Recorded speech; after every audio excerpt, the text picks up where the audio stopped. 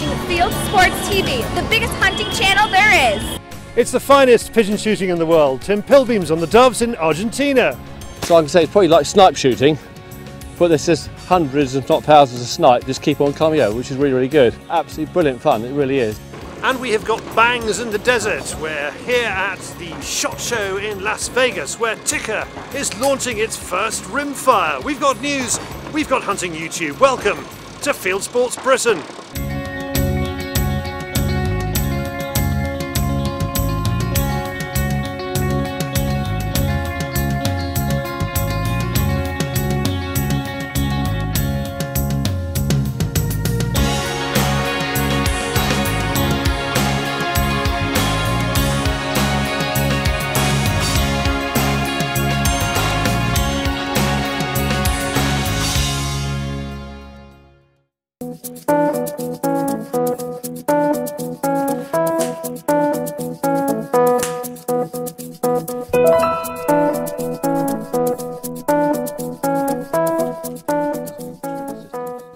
Mika, this is the, the new Rimfire 22? Yes, yes, that's the new Tikka T1X uh, MTR, multitask rimfire. Yeah. Big thing about this rifle is actually it, it uses the standard centerfire stock, and you can you can swap it basically to any other stock that uses the standard uh, synthetic uh, down um, inlays Yeah. here. So you can drop You it to any. Change, you can change it multiple to anything that is on the market today for T3X. Oh, right, yeah. 10 shot mag. 10 shot mag, yeah, available in uh, 2.2 long rifle and 17 HMR. It's all the Rimfires basically. Yeah. Also, this stock actually uses, um, it has uh, 35% fiberglass on it when we injection mold it. So this is not your standard polymer. This is really high tech, high tech synthetic, and it also translates to the accuracy. And also, when you get uh, change temperatures, uh, it doesn't change the point of impact Yeah. too much. So- And the trigger system on it? Trigger system is, is the standard uh, Tikka um, rim. Principle. yes, Yeah, yeah. yes. So you get really, really market leader trigger. Very smooth bolts. Everything has been really honed on this this this rifle. The T3 centerfire has been probably the most successful uh, rifle in the UK market over the past decade. Uh, really popular because of its accuracy, its affordability, the engineering link to, to Sako. Um, this, I think, will be a massive hit.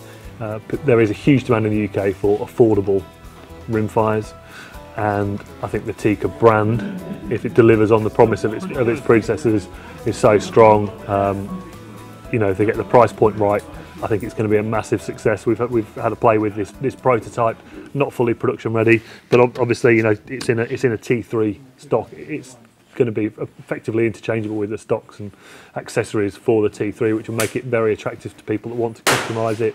Um, you know, it, it's a full-sized rimfire. A lot of them are a little bit short in length of pull. They feel, you know, more of a, a, a child's gun sometimes, whereas this, you know, is a full-sized rifle. Lots of adjustability, lots of customisation options, and from what we've had, uh, the experience we've had today, really slick to shoot. Um, fantastic magazine design, and uh, yeah, I'm quite excited about this. I think this this will be a massive, massive hit in the UK.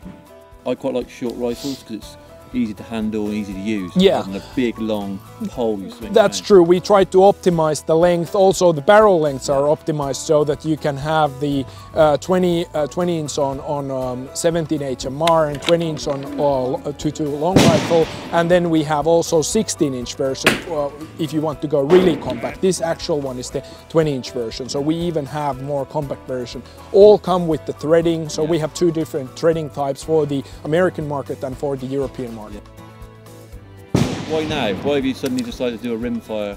This has been on the table for, for, for many years and we have been um, trying different kind of concepts but then we uh, finally decided to have this kind of concept that we will utilize the center fire uh, stock. So it was the, then we felt that we have found out the exact concept uh, how we're gonna bring out the uh, 22 long rifle and 17 HMR for Tikka. Well, here is the Tikka T1X, shiny and new and waiting for customers at this year's SHOT Show. And there'll be more from this year's SHOT Show later in our show. Next up, someone not quite so shiny and definitely not new. It's David with the Field Sports Channel News Stump.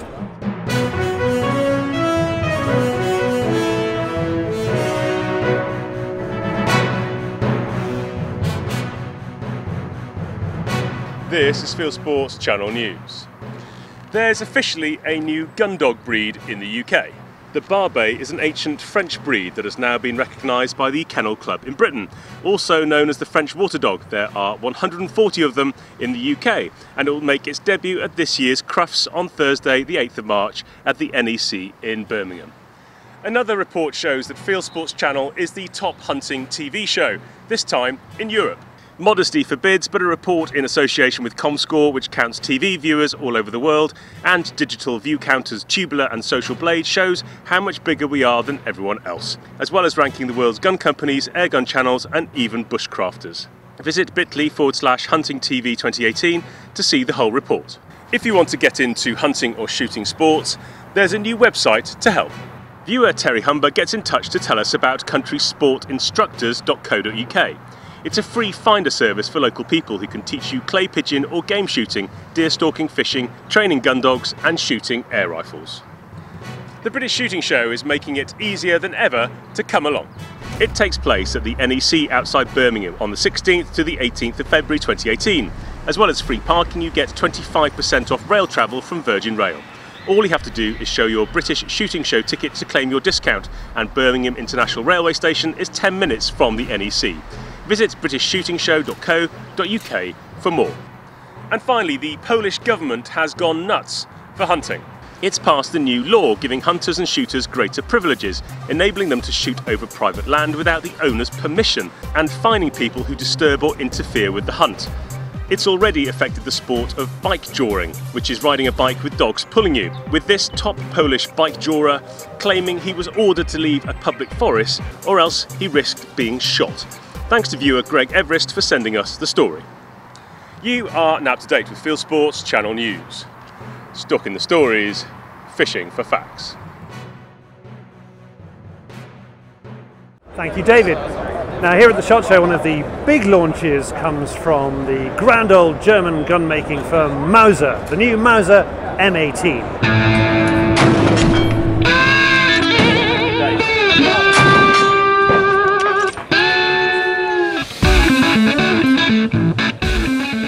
Mauser has a long heritage which started with a classically reliable action. You can mix up mud, sand, seawater and a pair of old pants, chuck it at a Mauser and still the gun will work. To explain what the new Mauser M18 is like, company boss Matthias Klotz starts with the original. Well, if you take the original Mauser M98 action, this was a controlled feed with a long extractor. Of course, this was a thinking and a theory of the late 19th century. Now we have, let's say, that reliability, the ruggedness brought into a push feed system. That means three massive locks in a steel system, a cold hammer forged barrel. If Paul Mauser would have known what we are capable of with our machinery from today, he would have redesigned the M98, but he had to work with the hand labor at that time. But I think the DNA is not a long extractor or a control feed or a push feed. The DNA is the result for the customer, ruggedness, and this is Mauser. There is the one hunter says, I need a tool. I need a tool that simply does the job, comes up well, crisp trigger, perfect accuracy, shooting exactly at the spot I aim at. And for Mauser, the thing is, you know, where do we come from? The DNA of Mauser is an ultimate working horse. So I think the M18 more or less is the essence of the DNA of Mauser, because in the end it comes to a price where everyone says, actually, I can afford it. Next stop is Browning and its subsidiary Winchester. Heads up pigeon shooters. They are riffing on the semi-auto theme this year. Okay, so basically we have the new Maxus and A5 uh, designed for America, but you can also find some European products. For instance, this uh, semi-auto Maxus uh, Camo Attacks uh, that we will probably launch in Europe this year. Yeah, so basically you have the A5 Realtree Max 5 Camo, but we will also launch in Europe an A5 with the same camo as this one, so A-TACS AU for arid Eurobank. New rifles, yes. We will have uh, new X-Bolt again with the same camo. Uh, we have new rifles also in the XBR range. Plus, there are additions to Winchester's SX4 semi-auto range. Uh, so we launched the SX4 last year. We met immediately a huge success. The 641 uh, uh, beat the world record of speed last year. Uh, and so this year we have decided to launch two new versions, a big uh, game uh, combo with a smooth barrel and a waterfall edition of the SX4. And all of this for the British Show. I hope so, yeah, I think so. Lots of stuff gets done at SHOT Show. There are conventions within the convention, there are awards, there are dogs using escalators. Wait for it, wait for it, what a good boy. And there is a ton of products. Here are a few that caught our eyes.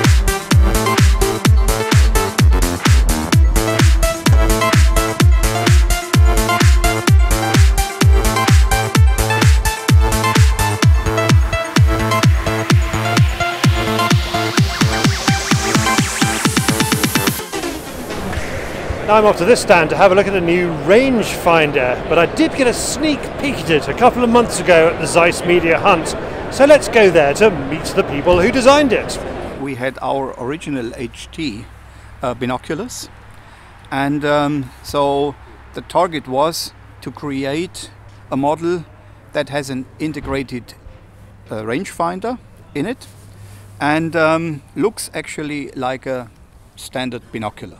But it has a clever little secret locked inside it. It can tell you range, of course, it's a rangefinder, and it can tell you holdover. We have Bluetooth between the RF and the app. You can upload your own ballistic data into the rangefinder and you can create your own result display with up to three different result displays. It's a very bright binocular and um, the, the, the, laser system here um, has a very high performance and uh, so the measuring quality is very good and so I think it's a pretty good combination in between a top-notch optical instrument for hunting and a laser rangefinder. Back here at Zeiss, the boss tells me that sales are going well.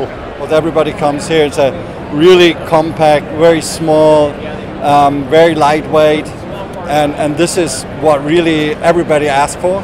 Again, we have the connection, the Bluetooth connection to the, the hunting app. So you can either put all the technical details you need for the ammunition and so on. You can change here in the binocular or you can do that on the app. Well, normally I shoot the 3006. So um, I, all my details I have in my pair of binoculars are for the 3006. And, that, and it works, it's, it's, it's, it's good it works perfectly. That's the reason why we just had to work about one and a half year to design this very nice piece. Next stop, the British Pavilion. All rise. It might be All America first round here, but we British are making ourselves great again thanks to the Yanks. All the traps we make are made in Liverpool and they're shipped out here to the States in a container at a time uh, without exception. Last thing I spot is truly American. Yes, so we have um, 1200 watts of solar on this truck. Our new trucks that are coming out now, we have 1320 watts. Um, we also have two alternators on the truck. So whenever you're driving down the road, you're also charging your 1000 amp hour battery bank. So you're gonna have a hard time to run out of electricity. and, and I, I love the bathroom. Yes, yes. We have a nice wet bath that's fully integrated. Um, we also have a hot water heater inside, but it's also hooked up to the coolant lines for the truck. So whenever you get to where you're going, the truck has already warmed up your water. So you can park, have a hot shower, enjoy your time. So in the covers, we have a dish storage system that basically prevents your dishes from rattling around. So when you get to what, where you're going, you don't want to make have any broken plates or anything. Granite countertop, we even have customers that will come out, they'll go pick the slab of stone that they want, and then we'll cut the countertop out of it for them. Um, you can have whatever backsplash you want, whatever wood interior you want. Um, we can do knotty alder. We can distress it for you to make it look like a cabin. So pretty much what you want, we can make it happen. So base price is 450,000. This one's spec'd out to about 560, but it comes with a lot of optional extras. I mean, you have a satellite inside. So whenever you get to wherever you want to go, you can still live comfortably. And the turning circle is surprisingly good as well. For a four lane road, you can actually do a U-turn at a stoplight. A U turn needs a four lane road. I might not be taking mine down the Somerset lanes then. It's time to leave the SHOT Show, but I can't let it go without you seeing just how Las Vegasy the whole place is. Take it away, Bandmaster.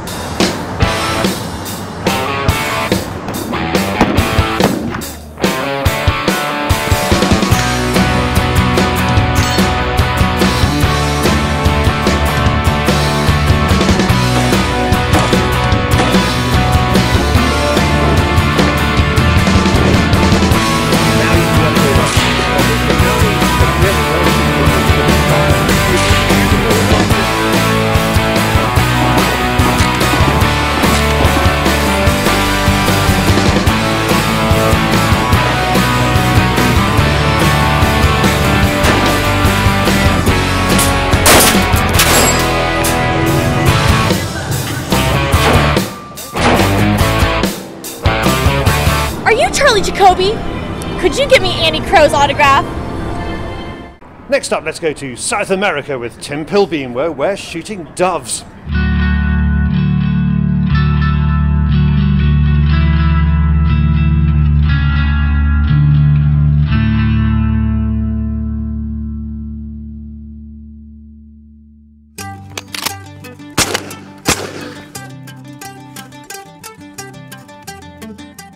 When in Rome, you do Roman things. When in Argentina, you shoot doves.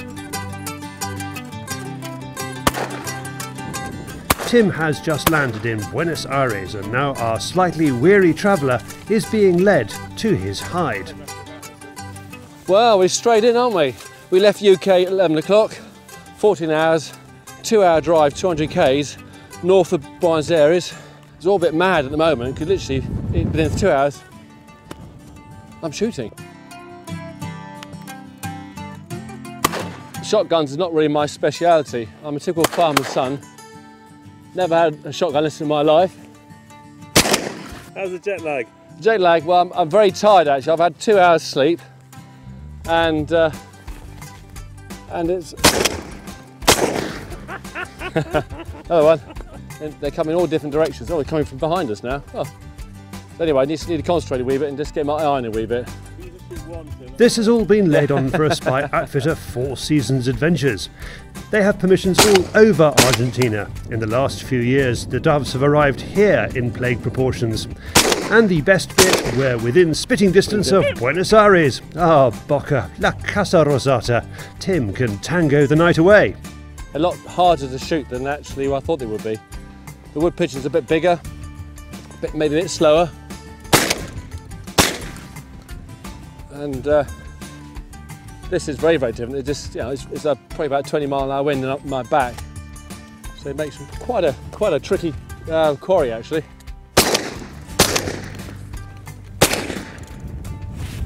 It's like a snipe actually on the marsh. You know where a snipe gets up, it darts. And these things are doing this all the time. It's just, you know, so you've got no idea where they go. You line them up and suddenly it just goes off at a tangent. It's like, for goodness sake, guys. So you just got to follow through and hope for the best. So I can say it's probably like snipe shooting, but there's just hundreds, if not thousands of snipe just keep on coming out, which is really, really good. So um, I know one thing for sure, is I shan't be taking over the mantle of Andy Crow for Field Sports channel because uh, I think I'll stick to my rifles because this is a, a very, very different uh, discipline for me. And whilst, whilst I'm, I'm a farmer and never had a shooting lesson in my life, I kind of get a few. And sometimes I get them, sometimes I don't. But uh, yes, perhaps I need a bit more practice like Andy. And uh, it's, uh, it's a bit of a change from rifle work and it's uh, absolutely brilliant fun, it really is. We do hear very large numbers bounced around when people start talking Argentinian doves, but we don't want rumours and hearsay, we want facts. Peter Lusardi is our local dove hunting guide, and we're staying in the outfitter's smart Dove Lodge and Hotel complex. After softening him up with a bottle of Malbec, Tim interrogates Peter. Personally, I think that this is the next Cordoba. Now, where we discovered this place about 10 years ago, and the amount of birds that we have here is amazing. Now, actually, we brought some people from the University of Buenos Aires, some biologists came over to make a study, and it turned out that 10 years ago, if we shot every day of the year with four hunters, killing a thousand birds per hunter per day, At that point, we could have not touched 5% of the dove population that we had. We never shot that much or we never killed that many. So we're looking into a big problem with the doves, but it's a great thing, you know, for us hunters. You talked about the damage they do to the farmers' crops. Oh yeah, it's impressive. You know, this area was great for sunflowers. I haven't seen a sunflower field in the last six years. And they, the funny thing is that they adapt, you know, they, they don't care if it's sunflowers, soybeans, wheat. I've even seen them, you know, eating green wheat. I mean, I've never seen that before, ever. Even the farmers have to get together and kind of, you know, get together and plan at the same time so they can try to avoid the attack of the dove. You talk about um, large bags, large numbers of. Oh yeah. Of, give me a good example of a, of a, good day's well, or good week's of hunting. For example, just three days ago before we got here, we had a group of 20 guys shooting, big family. They shot for three days. Between the 20 of them, they shot 60,000 shells and killed just about 50% of that in doves. You know, 30,000 doves in three days for 20 guys. When we pick some of the doves, they are a lot smaller than we thought. Maybe that explains the slowish start, Mr. Pilbeam. To give you an idea of the size, look at these little things, you know. They're well under half the size of a wood pigeon. And they're going at a hell of a rate as well. So they're not an easy shot, in other words. I'm making a lot of excuses for myself. But they're quite small, aren't they? Look, they fit in, in my hand. So a beautiful animals. It's like a smaller edition of a collared dove, I suppose, really. But yeah, aren't they beautiful? Four Seasons Adventures don't just offer doves, but all sorts of feathered game with mixed bag packages. Plus, there's fishing, and they can also sort you out with a rifle for big game, which is where Tim is heading off to next. For more information about dove hunting just up the road from Buenos Aires, go to fourseasons.com.ar.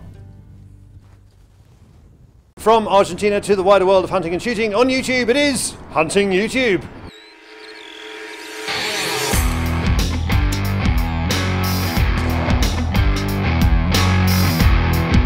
This is Hunting YouTube, which aims to show the best hunting and shooting videos that YouTube has to offer. First up, driven pheasant shooting in the south of England from the point of view of a spectator and with a lovely dry commentary. Your Turkish needs to be up to it, but if it is, here's how they go partridge shooting in Turkey. Today is hosted by Turkish gunmaker ATA Arms. My Spaniel's hunting and trialing in New Zealand is a YouTube channel and he is after rabbits near Otago with a Springer Spaniel, Cocker and a German Wirehaired Pointer. Tony Gillihan of TG Outdoors puts up his 2017 hunting highlights. He is in Australia, as does Morten Schultz from Denmark. Lots of action in this film. An impressive bow hunt by Stephanie Lee Polson, who is out in Denmark with her dad as cameraman. Rose Stalker is shooting does in Poland, no commentary but nicely filmed. And finally, in Labrador, William Larkham Jr. is pulling a few marten traps and gets a couple of rabbits. It's a glorious day in the snow, and he admits he doesn't actually know what day it is. Oh, lucky man. That's it for this week. I have put all these films into a playlist for you. Click on the i symbol top right or check this film's description. If you have a YouTube film you would like us to pop into the weekly top 8, email me the link, charlie at fieldsportschannel.tv. Well, if you haven't done so already, please pop over to our website, fieldsportschannel.tv, where you can click to like us on Facebook, you can follow us on Twitter, you can subscribe to us